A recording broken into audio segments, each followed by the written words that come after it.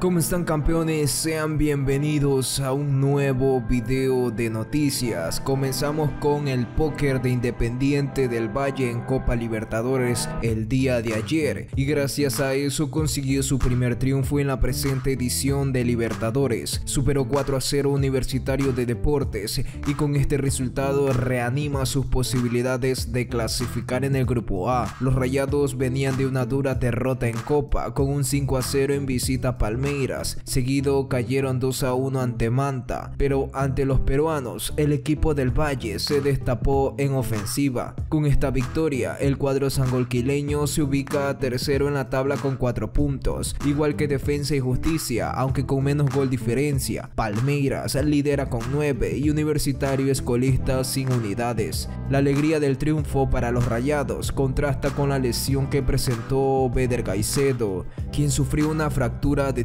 que lo tendrá fuera de actividad por unos tres meses. Confirman los horarios para los duelos de Ecuador en eliminatorias. La selección ecuatoriana ya conoce la programación para lo que serán los partidos de la jornada 7 y 8 de las eliminatorias sudamericanas. Tras confirmación de Conmebol, la Tri deberá jugar primero ante Brasil. Dicho compromiso está pactado para el viernes 4 de junio en Porto Alegre, mientras que para la fecha 8 el partido será en Casablanca en Quito y los de Gustavo Alfaro medirán a Perú de Gareca desde las 16 horas del martes 8 de junio.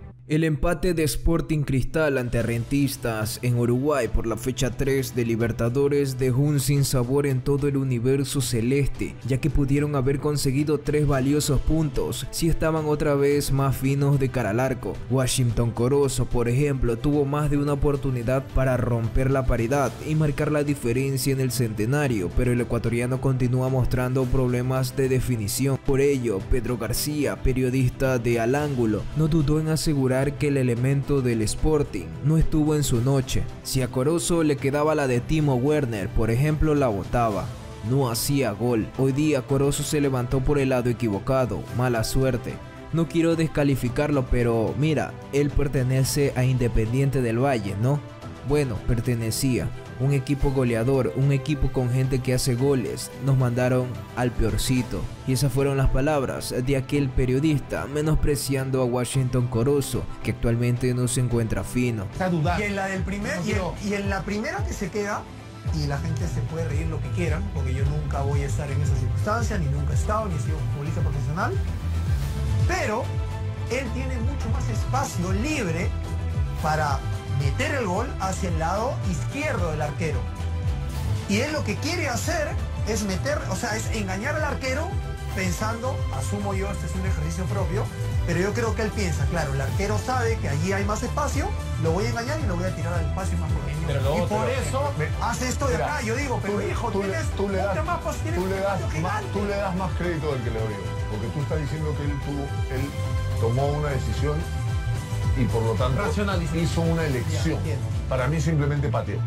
Para mí llega, yo quiero se ve en una situación así, él no sabe si los de atrás vienen rápido o no vienen rápido. Tengo que Ve el arquero y dice, defino, defino de una vez porque está sin, está sin confianza de cara al gol. Entonces cuando Roberto dice, cuando Roberto dice que no es psicológico, porque, patea el bulto, patea el bulto. O sea, él, no elige, él no elige pegarle a la mano derecha. Ya, Diego, entonces como si, si Roberto dice que no es psicológico, Música entonces, si no es psicológico, es futbolístico. Es técnico. Y es, técnico. No, pero eso sí lo ha reconocido. ojalá, dice que hay que trabajar en finalización. escúchame. Después lo vamos a escuchar. Ojalá fuera psicológico. Porque lo psicológico lo resuelves, lo resuelves. Lo futbolístico en este nivel Talleres ganó y metió presión a Emelec. La tercera fecha de la Copa Sudamericana se disputó parcialmente el miércoles y uno de los partidos fue el duelo entre Bragantino y Talleres, disputado en Brasil. Piero Incapié fue titular en el partido que era clave para las aspiraciones de los argentinos de seguir luchando por la clasificación, más aún al ser un solo equipo por grupo al que entra en la siguiente fase.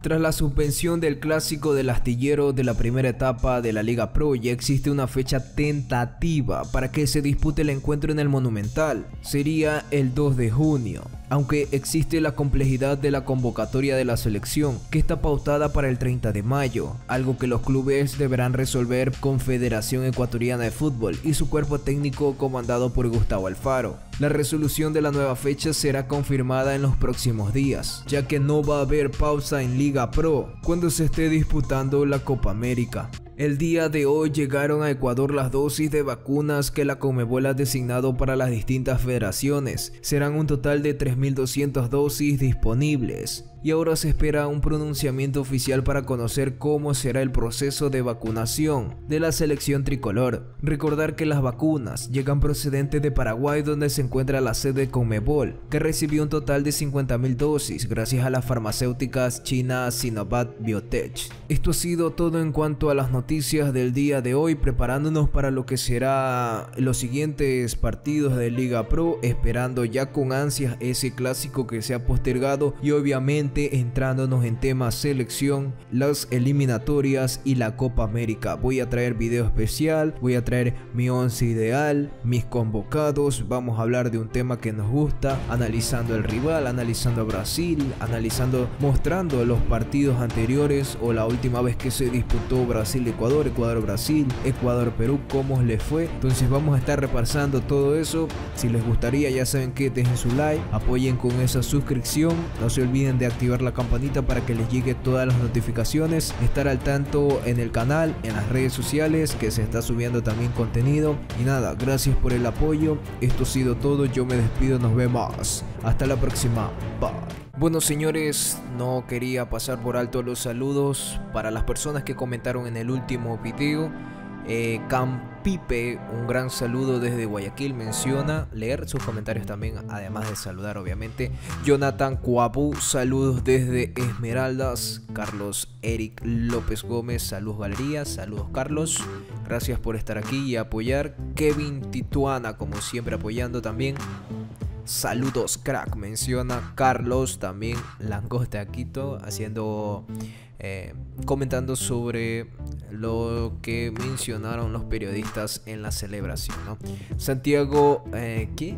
Pese el pibe, pese el pibe, primero dice, ahí un gran saludo. Y Luis Jacome menciona quien felicita a quien técnico mezquino y jugador, un tronco solo para parado esperando que le hagan todo. Ahí son los comentarios del video anterior. Pocos comentarios. me sorprendió este video. Aunque tiene 94 me gusta. Bueno, ya saben, apoyen el canal. Eh, suscríbanse, únanse y esas cosas. Compartan los videos también. Y también pueden comentar qué nuevo video les gustaría.